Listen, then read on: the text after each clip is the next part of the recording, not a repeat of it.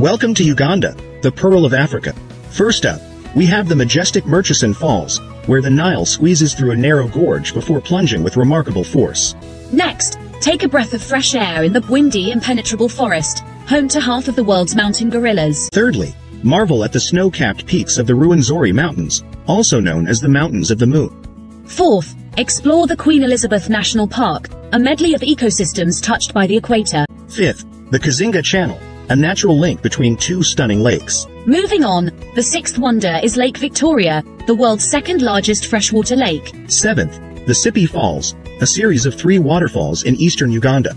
Eighth, Lake Bunyonyi, dotted with 29 islands. Ninth, witness the wild beauty of Kidepo Valley National Park. Lastly, the tenth wonder is the Ziwa Rhino Sanctuary, the only place to see wild rhinos in Uganda. Each one, a testament to Uganda's stunning natural beauty. A pearl, indeed.